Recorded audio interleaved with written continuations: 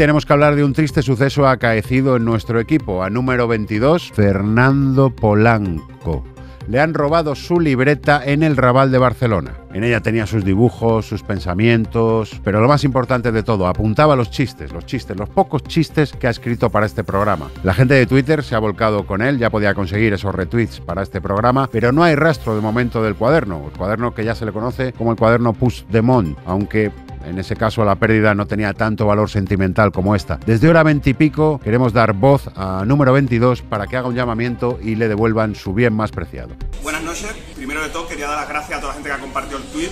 He recibido más amor eh, gracias a un solo tweet que por mi trabajo en 51 programas, en hora 20 y pico.